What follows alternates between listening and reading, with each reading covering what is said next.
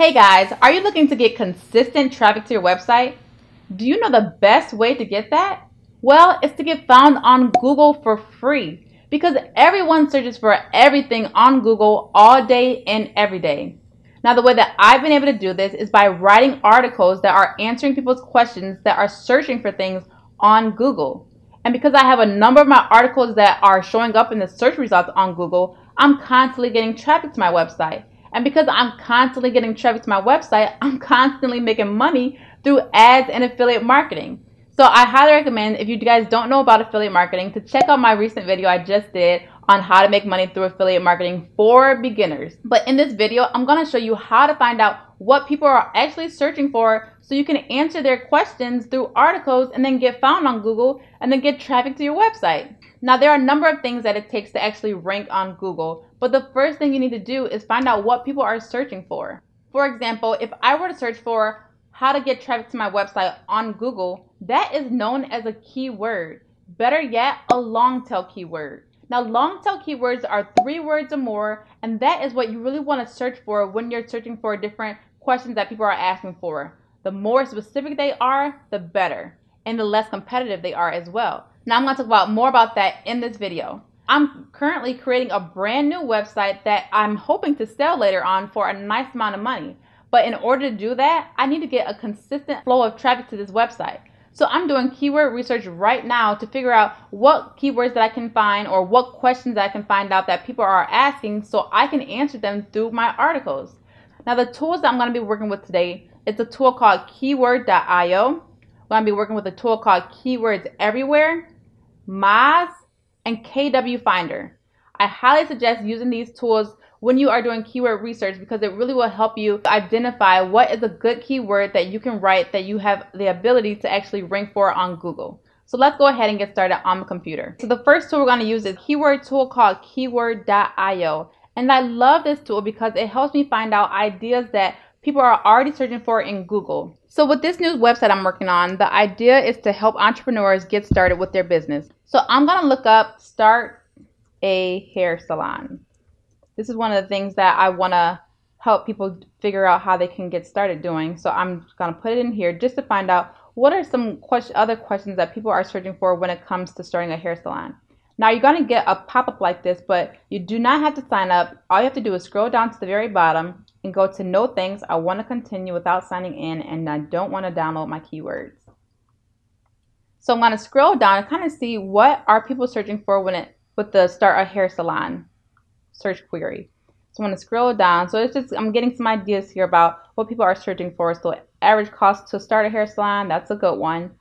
Equipment needed to start a hair salon, that's a good one. So I'm going to search this in Google right now to what's coming up in the search results for this question right here. So I'm going to open a new tab and I'm going to Google it and I'm going to copy and paste. Now, if you download keywords everywhere, it will have this pop up for any time that you search something in Google this will pop up. So I really pay attention to volume and then I pay attention to this new tool they have right here that shows you the trend.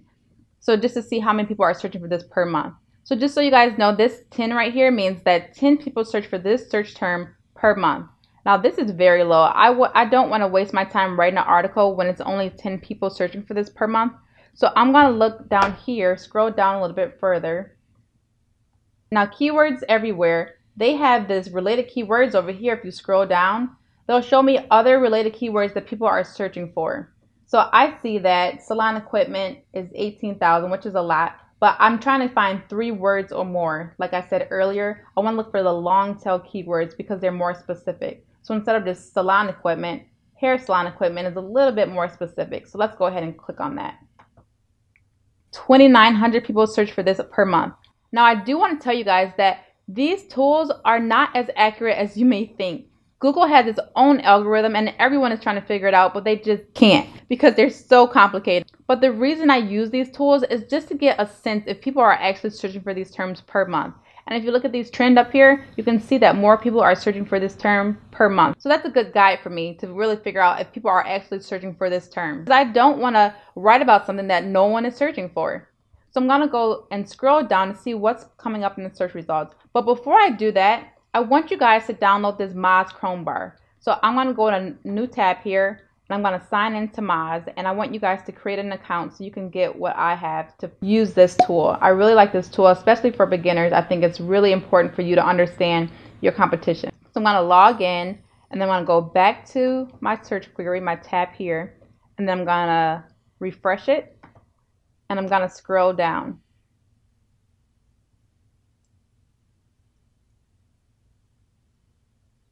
And as you can see here, the page authority this the PA stands for page authority and the DA stands for domain authority. And what this means right here is that the domain authority for this website is 22. Now this is really low. So this is telling me that this is just a brand new website or a site that doesn't have a lot of authority in Google's eyes. Now once again, Moz is just another keyword research tool that I use, but they are not Google. These tools just give me a sense of what Google is probably thinking when they are ranking different things in the search results. So I'm looking at this and I'm saying, oh, this DA is 22. This is a fairly new site.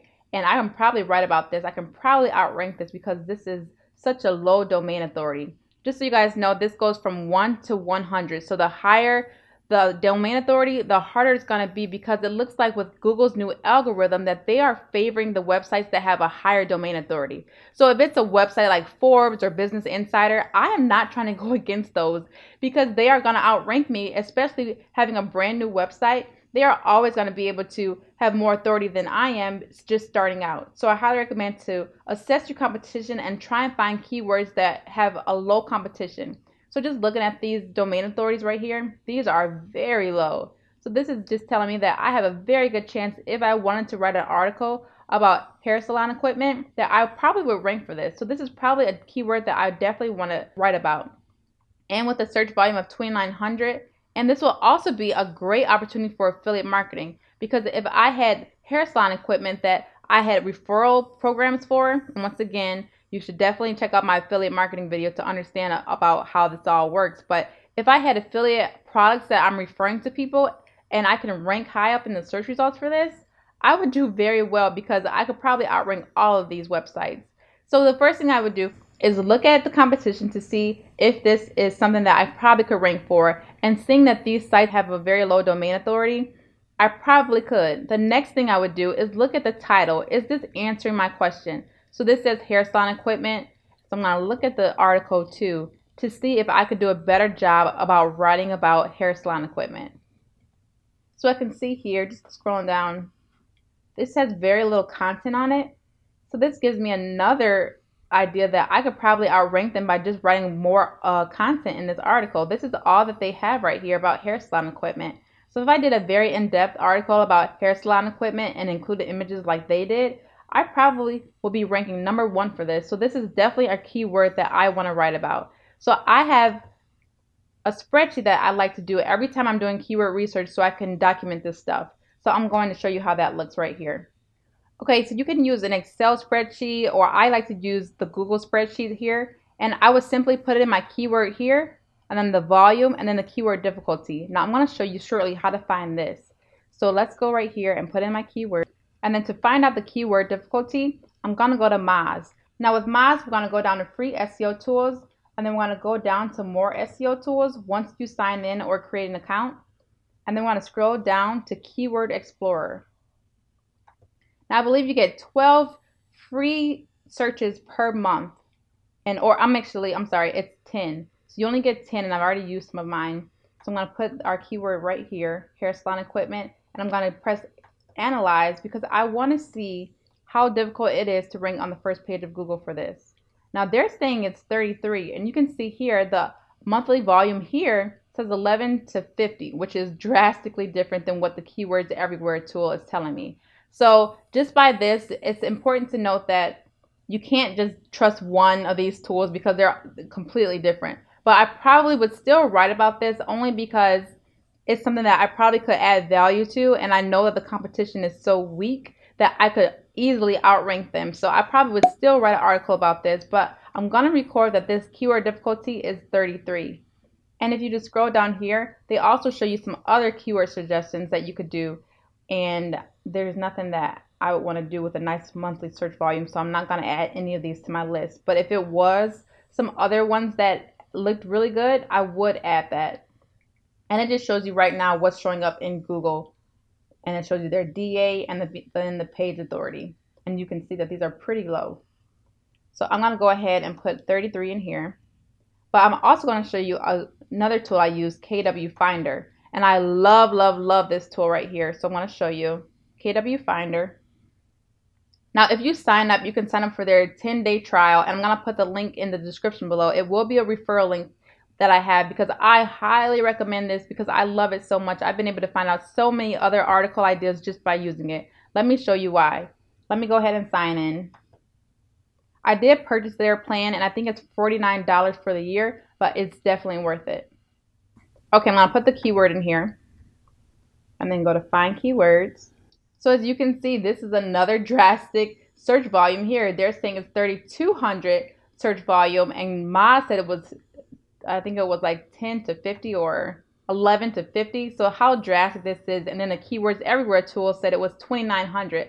So you can see these tools are completely different. They have all their different algorithms to how they're trying to figure out Google, and no one can figure out Google. But like I said, I use these tools just to give me a sense to say that people are actually searching for this search term. So that gives me some confidence that if I write an article on this, there will be people who are looking for this answer.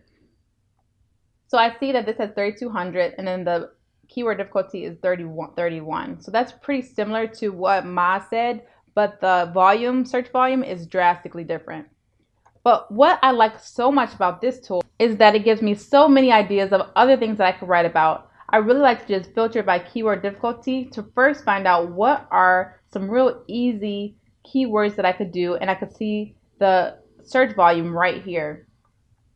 So I'm just, just scrolling down here now, what I'm really looking forward to is I want to see the search volume too because I want to write about things that have a nice search volume so I can start getting a nice amount of traffic to my website. You guys know that these colors, green is easy, orange is like medium, and then red is pretty hard. So I really don't try and write for anything that's hard because I know that with a new site like mine, it will be hard to rank for.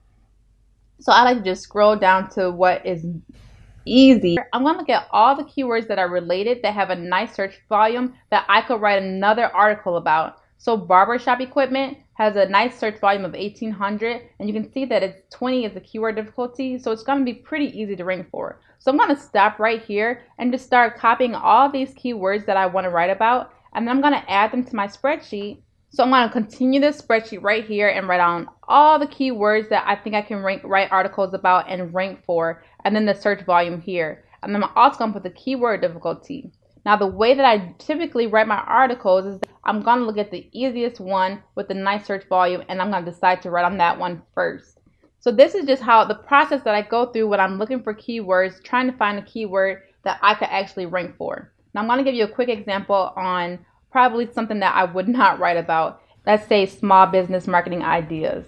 Now let's see right here what comes up in the search results. So you can see that this domain right here, WordStream has a nice domain authority of 81. So I probably, it's to be a little tough to try and write an article that will actually rank on the first page for this because I'm just looking at my competition.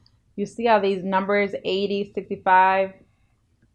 But one thing I do say that gives me room for opportunity and this one is only 37 so that's not bad. So if google does not show a search result that has the exact wording in this so for example right here low mar- budget marketing ideas for small business. This is good but it doesn't give me exactly what i'm looking for. I'm looking for small business marketing ideas. So i see that this is going to be a little difficult to write about. So and i also see that the trend is going down so i really probably want to work on something else. And i'm going to always look at my related keywords to see what is a nice related keyword that has a nice search volume with a trend going up. And this is just how I do my research and doing the marketing tips for small business. And I'm just and it goes on and on and on. So I recommend just taking a day or two to doing keyword research, filling up your spreadsheet so you can be confident about what you're going to write about and making sure that these are things that you can actually rank on for Google. Now, another really easy way that I highly recommend is to just Find out what keywords your competitors are ranking for. I do this all the time, and it's been really the guide that I use when I'm trying to figure out what keywords that I can actually write for and rank for. But the way to do that is through a tool called Ahrefs. And this tool is kind of expensive. It is $100 per month. But what I recommend is to invest $100 in that tool get all the research that you can for that one month for on your competitors and have content ideas that can last you for months or even a year. And I've done that so I can get my $100 worth. Now, I did a video on how to find out what keywords your competitors are ranking for using Ahrefs. So you want to make sure that you subscribe and hit the bell for notifications for when I release that video. These are the things that you want to keep in mind when you are doing keyword research. The search volume. You want to make sure that people are actually searching for this term so you know that when you answer this question, people will find your articles. The next thing is check the search results. Make sure that Google is showing you the results that are answering your question exactly. And if they're not, that shows you a room for opportunity where you can write an article that will answer directly to that question that that person is asked.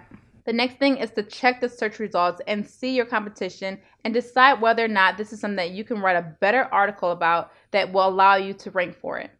And then you want to see how competitive that keyword is. So you can use tools like Moz or KW Finder just like I do. And once they pass all those tests, then you can add them to your spreadsheet and move on. And then you can start to execute by writing your articles. Now, you want to write your articles in a very specific way so they can start showing up in the search results. So, I highly recommend to check out my video I did on how to write your articles to rank on Google. That's the next thing that you need to do.